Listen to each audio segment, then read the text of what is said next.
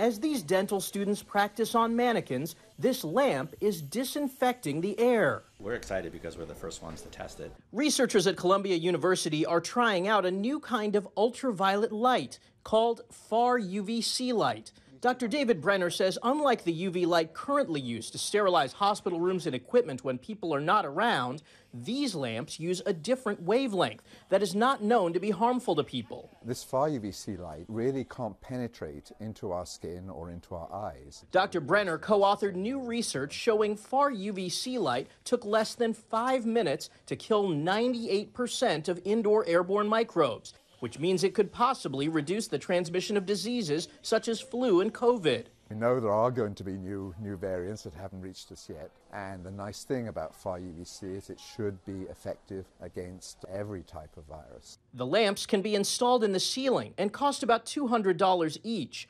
Dr. Brenner says we could one day see these in hospitals, schools, and on planes. Where are we transmitting COVID? Where we're we transmitting influenza? It's almost entirely indoors because you have so much ventilation um, outdoors. I think what we have achieved with far UVC is the equivalent of stepping outside. Dr. Stephen Erdy is excited the research is being tested at a dental clinic, since many microbes in the mouth can get into the air. This is a great opportunity to decrease that load so that when the patients are here, the providers are safer and other patients in the same facility are safer. A potential game changer that could possibly prevent the next pandemic. Michael George, CBS News, New York.